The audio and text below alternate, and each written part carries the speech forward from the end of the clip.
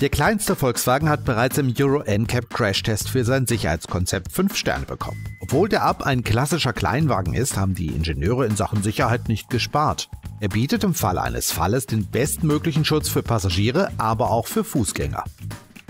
Doch die Experten der Prüfgesellschaft waren von der City-Notbremsfunktion des Up so begeistert, dass sie ihn deshalb mit dem Advanced Award ausgezeichnet haben. Der Up setzt damit Maßstäbe, denn er ist bislang das einzige Fahrzeug im Segment, das mit einer City-Notbremsfunktion ausgestattet werden kann. Wir haben dem Fahrzeug halt ein System spendiert, bei dem bei Stadtgeschwindigkeiten das Fahrzeug selbstständig bremst, wenn es auf ein Hindernis zufährt.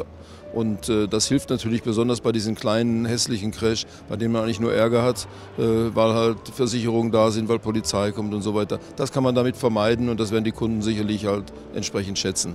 Ja, wir werden das natürlich auch in unseren anderen Modellen bringen, aber der Up, äh, der spricht die Massen an, das ist ein Volumenfahrzeug und wir haben mal mit der Demokratisierung mal von unten angefangen jetzt.